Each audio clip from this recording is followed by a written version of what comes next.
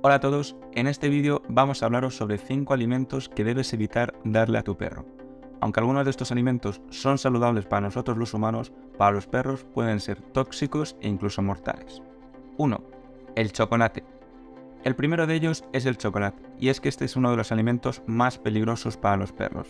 Contiene teobromina, una sustancia que los perros no pueden metabolizar adecuadamente y que puede causarles problemas graves de salud, como vómitos, diarrea, convulsiones y en casos más graves, la muerte. 2. El aguacate. En segundo lugar se encuentra el aguacate. Aunque el aguacate es un alimento saludable para los humanos, para los perros puede ser peligroso.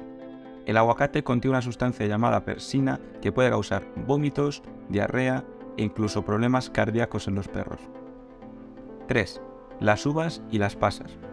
Las uvas y las pasas pueden ser muy peligrosas para los perros, incluso en pequeñas cantidades pueden causar problemas de riñón y en algunos casos insuficiencia renal aguda.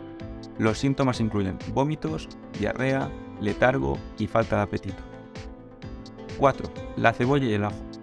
La cebolla y el ajo pueden causar daño en los glóbulos rojos de los perros, lo que puede llevar a problemas de anemia.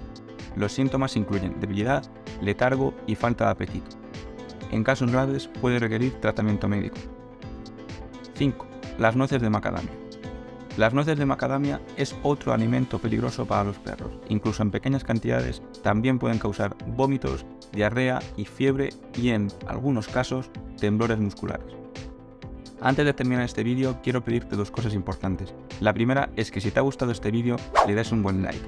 De esta forma nos ayudas a llegar a más personas interesadas en cuidar la salud de sus perros. La segunda cosa que quiero pedirte es que, si aún no lo has hecho, te suscribas a nuestro canal de YouTube, de esta forma te aseguras de no perderte ninguno de nuestros vídeos futuros.